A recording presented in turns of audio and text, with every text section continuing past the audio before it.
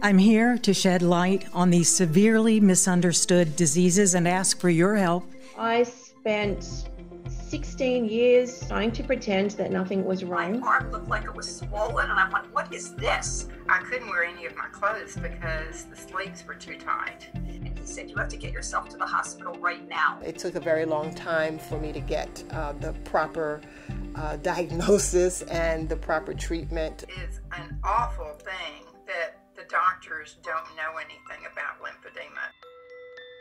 Lymphedema affects approximately 1 in 1,000 Americans and as many as 250 million people worldwide. Yet it is among the most misunderstood conditions of our time, resulting in a burden to health systems and patients alike. The reason may lie in the fact that the field of medicine has yet to fully understand the lymphatic system itself. When I was diagnosed, I was appalled to learn that over 10 million Americans suffer from these diseases. That's more people than those living with MS, muscular dystrophy, ALS, Parkinson's, and AIDS combined. The lymphatic system is really gaining a lot more attention, and we're realizing just how important it is. We've always known the lymphatic system had an important role in our immune system in responding to potential infections. But we thought, as far as that fluid, we thought 90% of that fluid that went out into our tissues was reabsorbed directly into the venous side of the capillaries, the blood capillaries. More recently, we have now realized that 100% of the fluid has to be taken up by the lymphatic system. Now, all of a sudden, whoa, we have a third tier of the vascular system that's just as important as arteries and veins and that lymphatic system is helping manage all this fluid load. How much fluid are we talking about? We're talking about liters. And this is what is keeping our fluids moving in our body, keeping us healthy, and bathing our cells. People will ask me a lot, you know, what do you do? And I say, I'm a lymphedema therapist. When they hear lymphedema or lymphatic system, people tend to almost think of it like a like a metaphysical aspect to our bodies, almost like an aura. um, and I have to say, no, no, this is a real physiological system in our body. it's it's a real thing. It's a system of vessels and nodes. And in the United States, we are behind other countries. And and our treatment is behind other countries as well because of the lack of insurance coverage. So I've had patients who travel to Germany for work and I tell them you should see a lymphatic doctor when you're there. Welcome to class. We're going to share my screen. We've met so many people here in the United States that really have no access to care and probably same lack of treatment and interventions and access to professionals as I've seen in Haiti and Ethiopia. So that is really difficult to accept. So, what are the symptoms of developing lymphedema? Puffiness or swelling, decreased ability to see veins, collars, rings, watches, or bracelets feeling tight even though you haven't gained weight. People often will feel a swelling before it manifests visibly. And so oftentimes people will say they feel like a heaviness or a fullness or a tightness. It's uh it sucks. your shoes don't fit, your clothes don't fit. Those are all signs. Those are all potential signs that a swelling could manifest. 20 to 40% of cancer patients who undergo treatment suffer some level of lymphedema. Breast cancer surgeries and treatments increase your risk of developing lymphedema. With breast cancer procedures, we may want to identify first what are the initial nodes that that cancer might travel to so that we can preserve as much of the lymphatic system as possible because it is so important. And so after having breast procedures, it's really important to identify the signs and symptoms of developing lymphedema and also how to minimize the risk of developing lymphedema. You are at a lifetime risk of lymphedema, and so I like to consider those patients who've had any compromise to their lymphatic system, and if you've had radiation or you've had sometimes even just surgery itself, of course, if lymph nodes are removed, but you have compromised your lymphatic system, and I consider those patients to be at stage zero lymphedema. Coming off of breast cancer, you're dealing with chemotherapy, you're dealing with radiation, you're dealing with, am I going to live or die? And then now there's something else. It is a chronic progressive condition.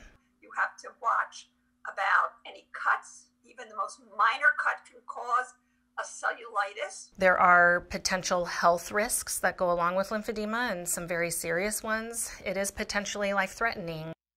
One infection that uh, persons with lymphedema are very prone to getting is called cellulitis. And the signs of cellulitis is heat, redness, in particular advancing redness, um, swelling, pain. Um, may or may not have a fever with that, right? Because a fever is a systemic response once your immune system is alerted. So if your immune system is really not getting alerted to the infection, you may not mount an immune response that includes a fever. Very, very important that immediately when you start seeing signs or symptoms of infection in an area that is prone or high risk for lymphedema, that you call your doctor and get antibiotics for that.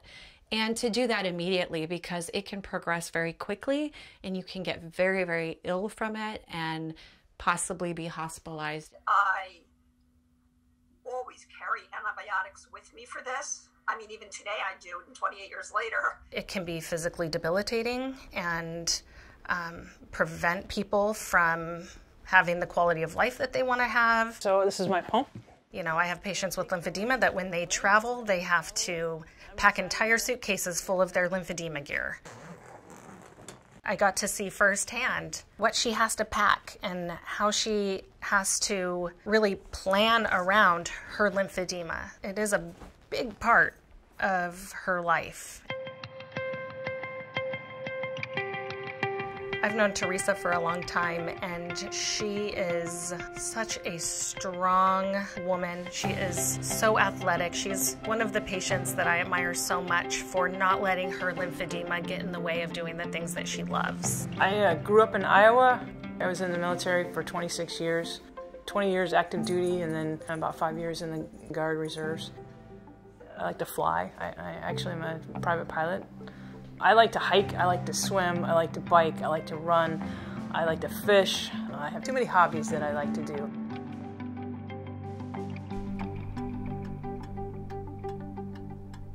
Uh, October 2014, I was diagnosed with ovarian and endometrial cancer. Um, I was active duty in the Air Force. I was supposed to be going to Korea, had orders to go to Korea, and then things kind of got sidetracked.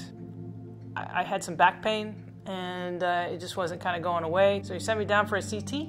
Lo and behold, there was an issue. I had a um, consult with a, with a GYN oncologist, and uh, a week after that, I had surgery. They removed my uterus, my ovaries, my part of my omentum, um, and some lymph nodes. As I was sitting in the chair, I went up to go to the bathroom, and I discovered the indents in my in my thigh from the chair. I thought that was kind of weird and uh, told my physical therapist there about the you know the indents that I saw, and they're like, "Okay, you have lymphedema. Okay, great. Now what?" My lymphedema was at stage two.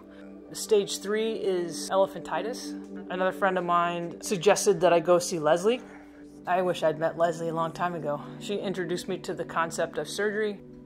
Sometimes the pain with it, I wanted to cut my leg off. Yeah, I was very anxious, and I'm not really an anxious person. I'm a medical person. I understand, especially in surgery. I get it. I know it's going to happen for the most part. I was just so anxious. You know, is this really the right thing to do?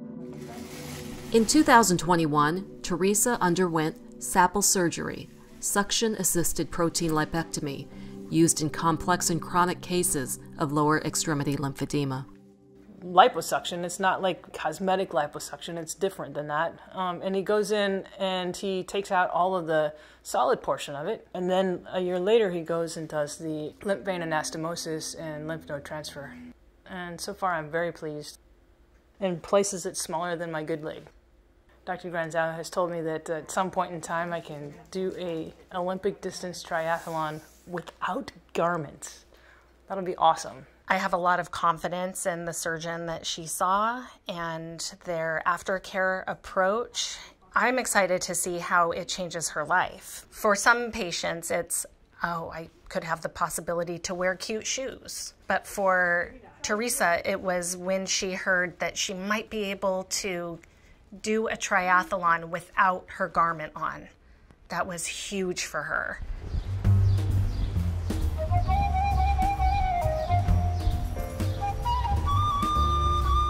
Sort of knew eventually I would get married because I survived cancer twice. I went to college, I went to grad school, I became an artist, I did all these things. I did a career as a flight attendant for 27 years, and I said, Well, I've done everything there is to do. I can't imagine that I would be just by myself for the remainder of my life in retirement. But I had faith. it started out in the um, daylight in the evening at 7 and we uh, went into the moonlight. And that was my intention. That's exactly what the invitation said. Well, my diagnosis was stage 2A infiltrating ductal carcinoma, is what they call it. It's breast cancer in the in the in the ducts of the breast. So I was cancer free for about seven years, and then of course taking my annual mammograms, they picked up in the same breast some microcalcifications. So I had a mastectomy. And then in 2008, 14 years into the diagnosis, is when I developed the lymphedema. And um, I'm told that lymphedema can happen anytime from uh, day day one, I guess, or anytime within the cancer journey. So for me, it happened at year 14, and I don't know what caused it. I can't think of anything that I did wrong, um, but it happened it doesn't seem so serious, but it can turn into a very life threatening type of situation if an infection should happen. So they're very careful to ask all the right questions about the appearance of the skin and how the skin feels, and they'll make sure there have been no changes from time to time. I feed them so they can feed me. I started gardening for the very first time during the pandemic. Sometimes I come out here for 15 minutes and it ends up being three hours. We had to stay home. I just felt so blessed to have the time and space to do it. So then I turned it into a whole found object art production because that's what I do. I'm a found object artist. Another way to use an Afro pick. I had it over there bolstering something up. It sustained me for the whole year just to have something to do with my hands and with my time and we literally ate something from the garden every day. I'm becoming more aware of how to keep from polluting my body in any way. Look right at your camera. There yeah, you that, go. I'm a strong woman. I always have been. I've been alone for several years now, um, about 12 years now and prefer it that way. And I've always been in upper management at work. And I raised five children, mostly by myself. I was diagnosed with breast cancer. When I went to the surgeon, he told me that uh, if I did a mastectomy, that I would have lymphedema. And I was okay with that because I, at my age, I felt like it would be better to just go ahead and do the mastectomy rather than a lumpectomy. The tumor that I had was not benign, but it had not spread to any other areas. And though they did take out 26 lymph nodes, they were all had clear margins. So it was good. But I did have lymphedema within 48 hours of the surgery. I'm not the same person that I was before surgery, I will tell you that. I have a little bit of swelling in my arm. You can see maybe a little bit in my right arm but for the most part, it's in my trunk. And when I get up in the mornings, everything is perfectly flat here. The later it gets in the day, the more swelling I get. You have to understand that this is not something you're just going to do for a few weeks or a few months. This is something you have to do every day for the rest of your life. My name is Joanne Edelstein, and I am a 29 year survivor of breast cancer. I hadn't been to a doctor in 15 years, and I said, It's time to go back and get this checked just to see. And she goes, The garment you're wearing She goes, throw it out right now. Just put it in the trash in my office. And she says, we're going to remeasure you. And she said, you need to wear a garment. It's not going to be cheap, but you're going to have to get it. And you're going to have to wear it every single day. And you're going to have to wear it the rest of your life. And then I started to cry. I think when patients get lymphedema, they now feel like they have a full time job just caring for their lymphedema. I was wearing this in the ladies' room and um, at the sink, and a woman comes up to me and she said, Lymphedema? And I said, Yes. I said, How do you know? She said, Because she said, I also have it. She said, But I am wearing a garment from my ankles to my chest. And I said, Well, I guess I shouldn't complain so much about my little arm sleeve and my glove. And I said, How you doing? She goes, I'm doing okay. She goes, Not easy, but I'm doing okay. So I think the glove that I wear, a lot of people looked at it, and I think there's almost kind of like a nod between people. It's like, yeah, lymphedema. Some people I see, you know, they really swelled up a lot. I, I was fortunate that I didn't. There are things that I can no longer do that I really miss. But at the end of the day, I always go back to I'm alive.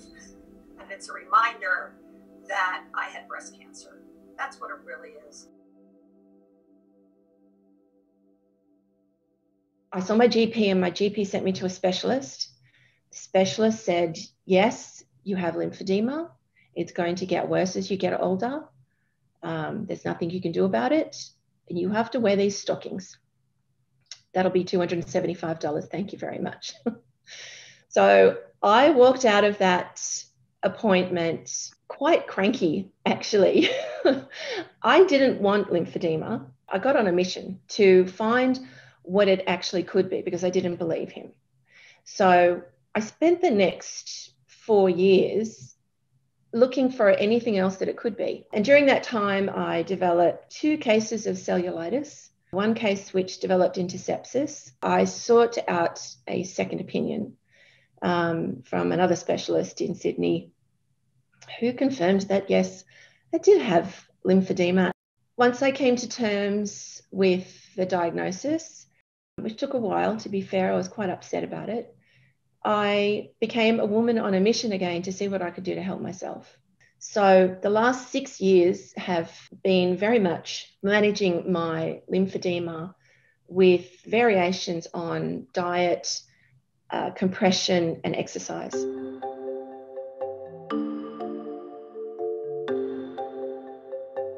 It's just a, a spandex um, shell, that's all it is. And I do sometimes wear the sleeves as well. I'm told by the doctor to wear my sleeve, uh, especially on flights. I'm supposed to wear it all day, every day, anyhow, and then I have a night garment as well, but particularly on flights because of the pressure. So you gotta pull and pull. Sometimes I punch myself in the face, it goes like that. So you pull this up, right up to under my arm. That's part one. Part two is my glove. And this is all very tight. It's very sexy. My brother, he said, Is that a new fashion statement you're wearing? I said, No. He said, This is my lymphedema glove. You just sleeve yourself through there, and it's got these little Velcro closures, and you you sort of put yourself in there and you tighten it up with these Velcro straps. Your arm is like this for the whole night. I have thrown away their garments in my office. I mean, I've seen garments come in with holes and I mean runs. I mean, they're falling apart and replacing garments is very important. Keeps the arm from swelling and and it's got another cover that goes on top of that to make it more pretty. Who's going to be looking when you're sleeping, right?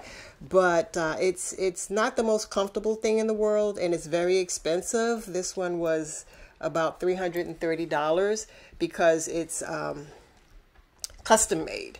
It's custom made, so they do they measure you nine ways from Sunday, and then it takes about six weeks to have this made, and then they send it to you, and um, and it's got all these little attachments. You can extend it this way, that way, and it. I don't use this, and it's got a little measuring tool, so you can see if it's too tight. It has to be between this level and that level, and it's quite a little production before going to bed, but but it's useful, and it's. Um, I'm glad I have it because I would have had to do the triple bandaging. When I say triple, I mean one for here to there, and then another one from here to there, and then a third one from here up because there's no way to do one long bandage. You'd be here for a week. So I used the triple bandage or the night garment. I do not advise patients to get an over the counter garment or a non medical compression garment like you would get at a local pharmacy store because you run that risk of potentially causing more damage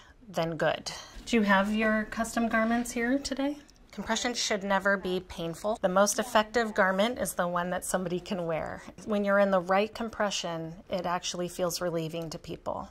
Okay. So these are foam filled garments. Foam is like magic in the treatment of lymphedema. Okay. And this is in the class of what we call like the nighttime garments. People will also use these on plane travel. It's stitched with channels to direct the fluid away from um, the area where there's lymphatic compromise.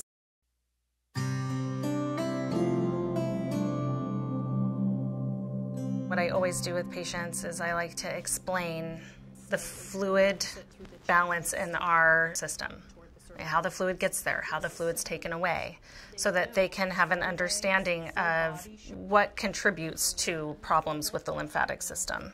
And then I tell patients all the risk factors. Let them know that they are at a lifetime risk. It's not to scare people, but it is really just to educate them, especially when these conditions are addressed early on, then they don't get bad. They don't get like the scary pictures you see online. The hardest thing is when people don't know what's happening and it gets really severe, and then we have to try to address that.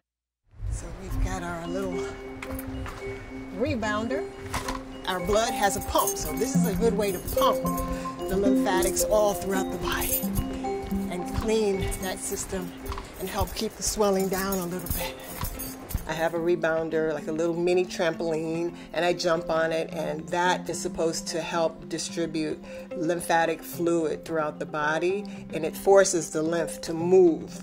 So that I do on my own, and that helps anyway. It helps the entire body. It's good for my muscle tone. It's good for my heart. It's it's like a little cardio and it also moves lymph not just from the arm but throughout the whole body it is really important to stay moving. That helps the lymphatic flow. Anything that you do that triggers an inflammatory response could potentially add to the burden of what the lymphatic system is already trying to manage. So anything that would increase the fluid going into the tissues. That may include a bug bite, overexertion, trauma, injury to that extremity. Avoid extremes of heat or cold, sunburn, cooking burn, cuts, abrasions. Also understand that that can compound on itself, right? If you're doing multiple things that are taxing the lymphatic system or potentially causing risk. A lot of people need help with the application of the change of diet. I practice nutritional medicine and I also run a free Facebook group and we provide support and general information for people with lymphedema and lipedema and lipolymphedema who want to use and um, experiment with using a ketogenic diet. A ketogenic diet is where the body produces ketones because of changes that you make with your food intake being in a state of ketosis, when your liver is producing some nice ketones for you, because they assist in interrupting that inflammation cycle. What we want to do is interrupt the cycle of inflammation and downregulate it to what's normal.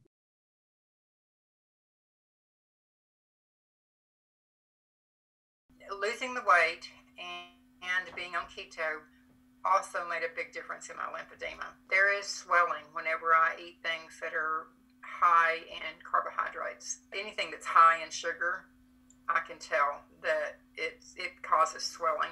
It may not cause it right away, but I will feel it the next day. I have since developed a relationship with a massage therapist, and he did a manual lymphatic drainage. That made a huge difference. I could, as he was working on me, I could actually feel the lymph fluid starting to flow. Manual lymphatic drainage is a very gentle massage technique that is done within the skin layer. And what we're doing is we are trying to stimulate the stretch receptors, which in turn stimulate the lymphatic vessels to open their pores and pick up more lymph fluid.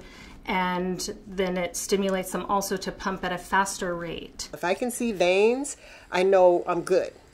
Um, but when my hand gets puffy, like and, and I get the little baby dimples here, then I know that something is, is up and I need to stop, relax, lie down and do a whole drainage uh, from the whole body. Um, they taught us how to do, how to open the channels in the groin and the underarms and the clavicle and then manually push that fluid back. Another modality that might be useful in managing lymphedema and long term management are lymphedema pumps. And there are a lot of differences in pumps as well, just like compression garments. Some pumps have many, many chambers. Some of them have what's called central decongestion that mimics what we do with manual lymphatic drainage. So it might help drain lymph centrally before it moves on to the extremity. Um, so there's a lot of different varieties, and those can be helpful as well as all the standard conservative treatments to manage lymphedema long term. And in many cases, they are covered by insurance. Uh, we need to keep fighting for all these therapies to be covered and having access to care. I'm all about using the specialists that we have to better address the complications that come from lymphedema. Physicians receive only 15 to 30 minutes on the entire lymphatic system throughout their medical training. This leaves them seriously ill prepared to diagnose the disease. You are not actually qualified to treat somebody with lymphedema unless you are fully certified.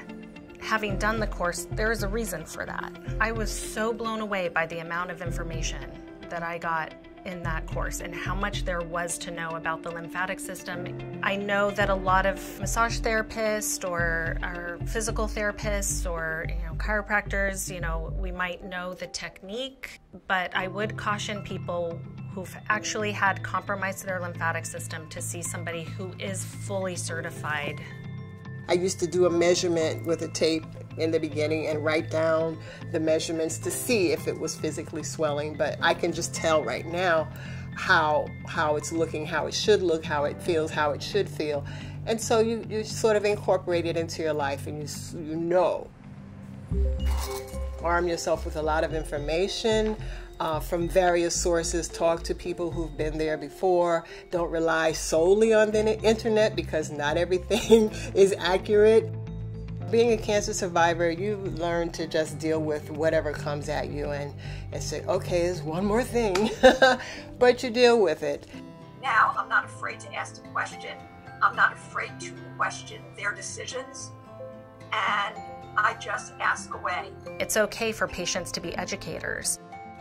I've been a lymphedema specialist for 17 years, and I learn things from patients every day. I've come a long way since then, and some of the doctors, I think, have come a long way since then. I would just straight up ask my doctor, do you do surgery in a way to help protect me from developing lymphedema? And to practitioners, I would always like to emphasize to listen to the patients because if they are experiencing some symptoms, and just because maybe you don't see it yet, doesn't mean they don't have it.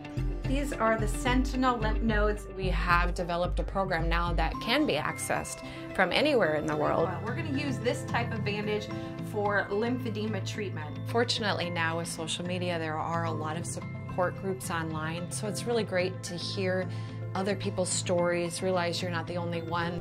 Today, there is no cure in sight, there is no approved drug therapy, and there are only three studies worldwide seeking new treatments. We have celebrities like Kathy Bates speaking out on behalf of lymphatic research and funding. We appreciate the testimony and look forward to working with you and trying to make meaningful progress. Thank you so much. It's not me, it's for everyone. We have a long way to go, but there are a lot of resources. Just need to seek those out and find them. It impacts their life. We want to minimize that as much as possible.